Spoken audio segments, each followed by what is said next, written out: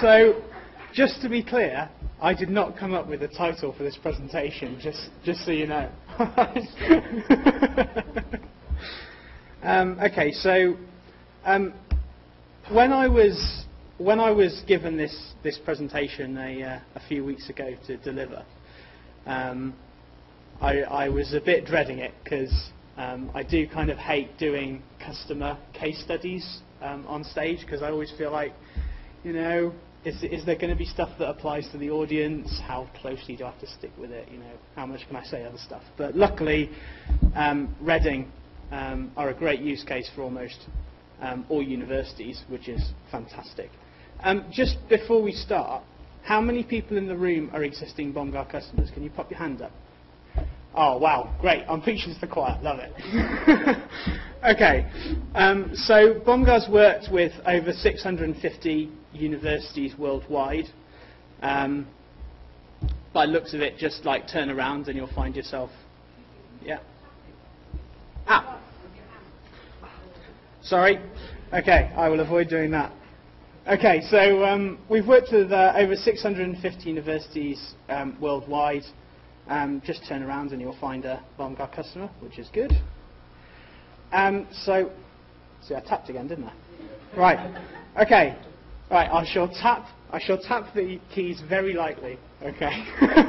All right. Um, yeah. All right. Okay. Good. Um, so the University of Reading had um, quite a few objectives um, with um, in their implementation. They wanted to consolidate um, their support tools um, because, like a lot of universities, they were using a lot of different tools in a lot of different um, departments. Um, so the infrastructure team were mostly using um, sort of RDP and Windows networking tools.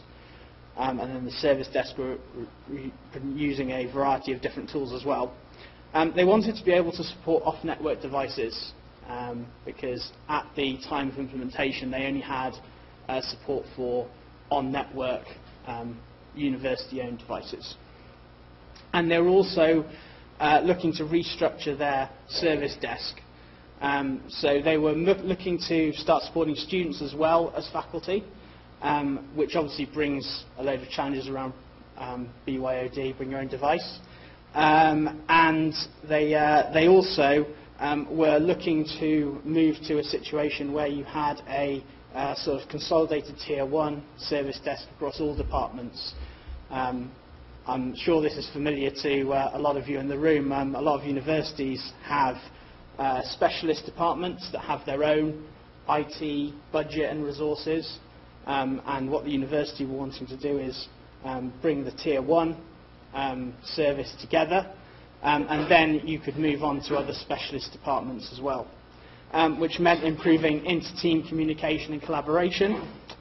Um, and they also wanted, with the influx of students as well as staff, they wanted to make sure that they had um, all the channels necessary to provide the support they, uh, they wanted to provide.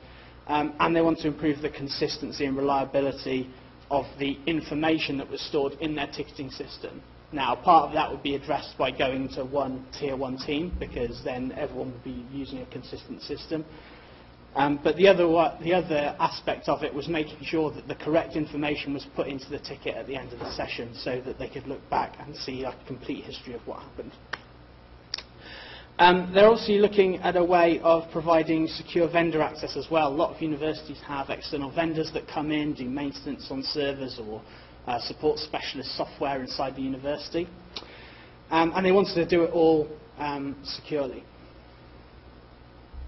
That was a light tap, right? Okay. Um, they also had a number of environmental uh, changes that they were going through at the time. They um, introduced campuses in Malaysia, which brought with it a whole new set of challenges. Um, already talked about the service desk realignment um, adding support for students. Um, they're also changing, they're in the process of changing their ITSM um, system, um, and they were moving away from a highly customized um, BMC um, installation to a more sort of standard uh, TopDesk one. Okay, so some of the challenges they faced. Um, they were unable to support non-Windows devices. Um, they obviously had students coming along. I'm sure this is very familiar with a lot of you guys in the room. Students come along, they've got their tablet, they've got the phone, they want all to connect to the university systems. Um, and students being students, they want it to just work straight away without having to deal with anyone. Um, international campuses, they're very low bandwidth um, in some of their international locations, so uh, that was a challenge. Um, as I said before, students coming in with multiple devices meant quite a large increase in the number of devices that they were supposed to be supporting um, without um, much additional resource going into the service desk in terms of personnel. Um, they need to collaborate across teams. Uh, this is especially important with the new centralized structure, so they need to be able to have stuff going into Tier 1, but then Tier 1 needed to be able to collaborate effectively with the specialists in the different university departments. Um, they uh, wanted to provide a consistency of support, so I've already mentioned that. Um, increased customer expectations, so uh, everyone wants the moon on a stick. I'm sure you're all familiar with this problem. Um, students arrive, staff arrive, they want to bring their own devices, they want their fancy iPhones to work on the network, and they want it to all happen without them having to do much at all. Um, and I've already mentioned they wanted to improve the reliability of ticket information.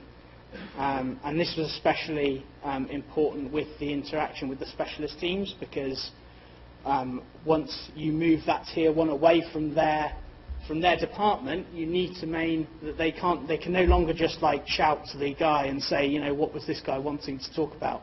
You know, you, you have to have a consistent set of information they can refer to. Um, and they had particular security privacy um, concerns, things around like data residency, what you can see on the device if you're providing remote support, that sort of thing. Okay, so Bomgar to the rescue. um, all right, so one thing is um, the way Bomgar works is it's any device to any device. So you can provide support using Android, iOS, Windows, Mac or Linux, um, and you can then support those devices as well. So it's not like some tools where the, the bit that your technicians use has to go on Windows, but they can support more devices. They can be on their iPad, they can be on their Android tablet, supporting users on any of those platforms. Um, so that instantly knocked over the problem with only being able to survive Windows. Um, also, um, Bomgar um, is able to provide um, support off-network as well. Um, because we have an appliance, it sits in your, in your DMZ, and all the connections from outside can come to the appliance, and they're bridged by the appliance. So, we looked at implement, implementing chat using Bomgar as well. Um, there, had a number of reasons for this. One, um, students were coming from a generate, they're coming from a generation that's used to interacting via instant message, chat, that kind of thing. They're comfortable with that kind of interaction um, in a way that sort of um, university faculty may be a bit slower to adopt. Um, so they wanted to add a chat channel for those students. Um, and it also allowed us to um, use uh, pre-prepared chat messages, what we call canned messages, for uh, knowledge-based articles um, that they get asked about a lot. So instead of having someone come in um, asking about a password reset, um, they could come into the chat, they get a quick response saying, oh, here's, here's the online tool for resetting your password, I'll stay connected with you, um, and then if you have a problem, come back, let me know, and I can then take control of your computer and guide you through the process. So it's not just about throwing people the information and saying sort it out yourself. Um, you also want to keep that kind of interaction so they don't feel like you're abandoning them, but you're encouraging them to try other tools, try other avenues to get the support. Um, okay, so also um, the chat um, can be integrated um, with their TopDesk support portal, so they can go to that portal, click on chat, generates a ticket. I'll talk about that in a bit. So, collaboration. Um, Bomgar allows you to uh, share sessions um, with other people. So you can, you can maintain control of the session but bring experts in to help you. And those can be people from a different team within your organisation or they can be um, third-party uh, vendors. So you can, you can bring a vendor in to a discussion, you still control the interaction with the customer, but you can get that expert help live. Um, that has a few advantages over the traditional model of like just transferring the ticket and then the other person contacting the customer separately. One, it's a much better customer interaction because they get their problem fixed when they contact you the first time. Um, two, um, they, um, there's a consistency of um, support for the customer. They get into the habit of only contacting one, one service desk rather than sometimes what happens is you escalate a ticket, someone from a second level team gets in touch with the customer, starts a session, and then, you know, just by being friendly, whatever, on the call or on the chat, the customer gets to know who that person is. The next time they get a problem, they ignore the service desk entirely and just go straight to that person. Yeah, it's, a, it's a real issue. Um, well, for everyone, um, including universities. Um, so they also um, integrated with TopDesk, which meant that um, all of the interaction that happened on every Bomgar session was written into a TopDesk uh, incident um, related to, uh, to that issue. So um, they could bring in the vendors in a controlled way. Um, they could record everything that happened and everything got written into the ticket. So they had a single point, TopDesk became a single point of truth in their environment because they knew that, you know, even if the service desk guy was having a busy day and didn't really add much notes himself, they knew that all the chat transcripts, all the stuff about what happened in the session was going to be written back into the ticket automatically. Okay. Um, and uh, so I've already talked a bit about this, but the integration with TopDesk what you can see here is like the self-service portal um, of TopDesk, um, and you've got a uh, Bomgar chat icon. Don't have a pointer. The Bomgar chat icon is the orange one, and then the um, the grey one is for entering in a session key. So you can go to the portal, you can start a chat with support. It'll auto generate um, a ticket with some default values and record everything that happens. Um, or if you've got an existing case um, and the support technician's given you a Bomgar session key, so uh, maybe, you, uh, maybe you phoned up the support desk instead of wanting to chat straight away. They give you a session key, you type that in um, in your TopDesk portal, and that will then um, integrate with the incident that they've created as well.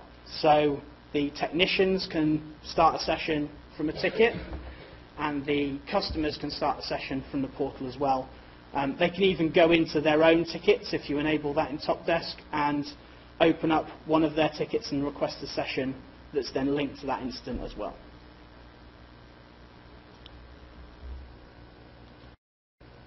Okay, so um, multi-platform, I'm going a bit faster. Uh, multi-platform, um, we can support everything. So that's great.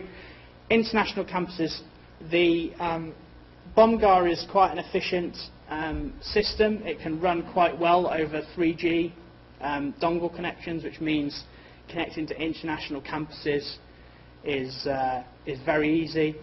Um, we do have um, a number of other university customers that have the same use case.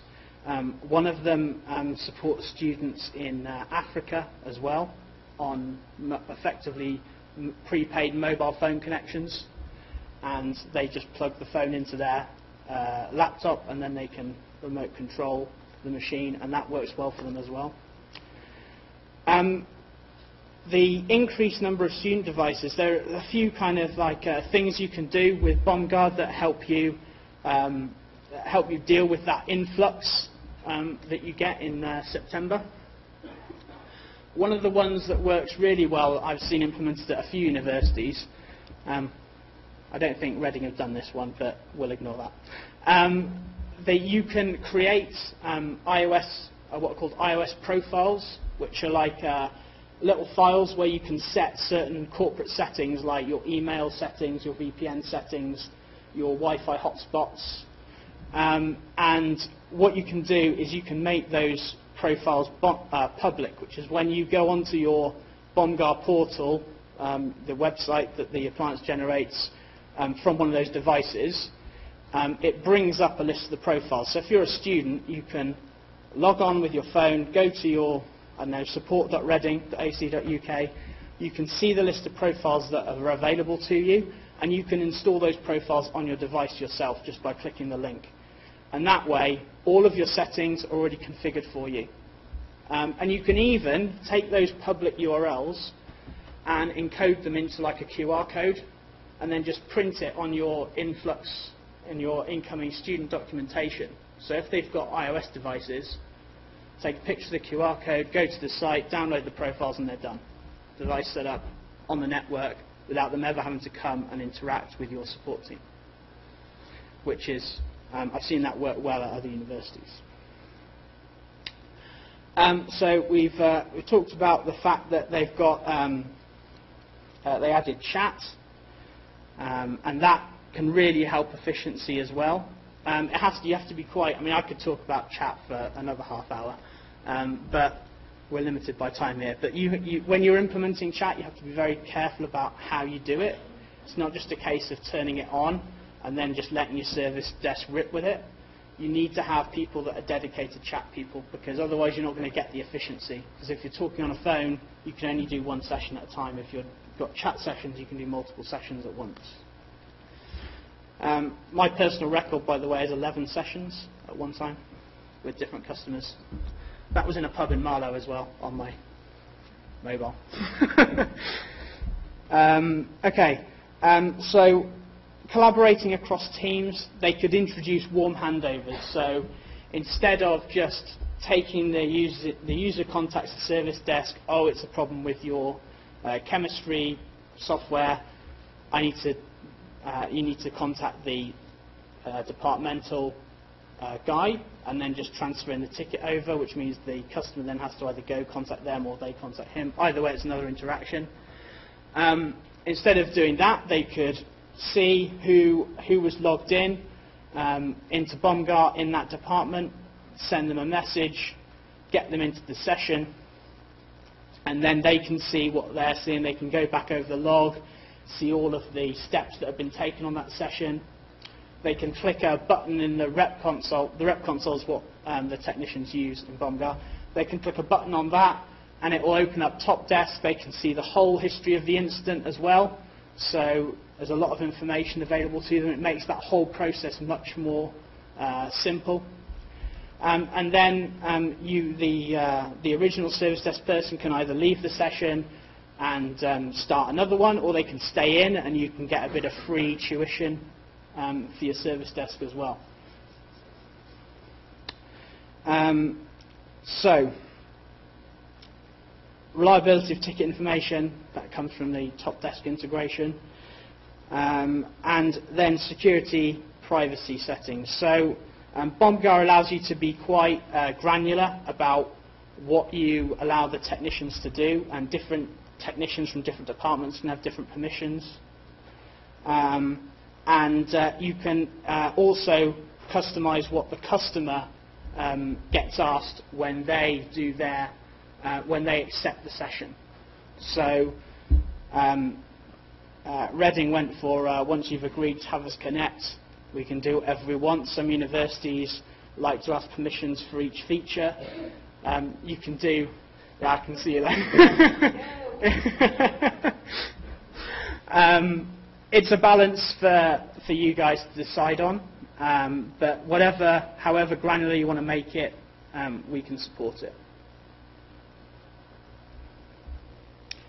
Okay, any questions about Reading or anything else? Preferably Bomgar related, yeah. That's you.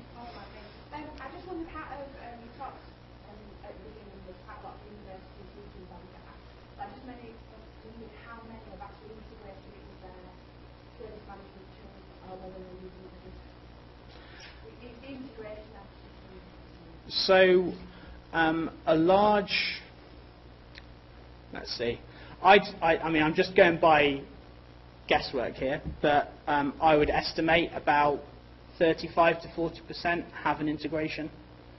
Um, we'll integrate with a lot of different products, so we can generally um, integrate with most of the university equipment. Even if we don't have an inbuilt integration, the likelihood is we can build one for you um, using, uh, using consultancy. So just, I just want to curiosity out of those people that use the Bomgar, who's actually got it integrated with their application? Oh, see,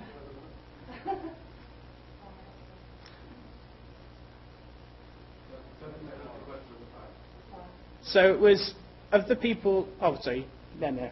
Yeah, just of the people that have got BOMGAR in place, how many um, organisations have got it integrated with their IT service management tool? Gordon represents two universities, though. I'm surprised by that. Oh, answer that question. Yeah.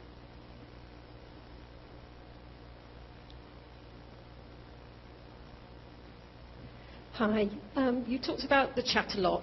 Really Yeah. interested in that. Um, the chat sessions that are open up and recorded, everything's recorded. Yeah. The integration with Reading and um, Topdesk, does it raise the tickets in Topdesk itself? Does it actually populate into a ticket? Yeah, that it does. So they click on the they click on the chat, and then um, Topdesk. Um, we use the Topdesk API to create a ticket with some default values in Topdesk, and then the um, technician at the end of the session can go into that ticket and change those values to uh, what they should be. Anything else? Got five minutes.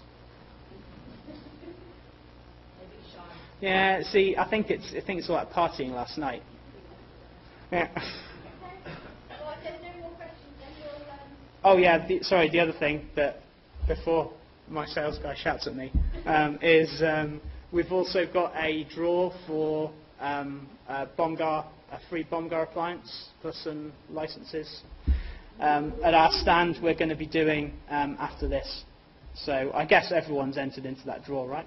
Well, half you haven't because you're already Bomgar customers, but the other half, yeah. what for an extra appliance? Wow, I don't know. I don't know. Yeah.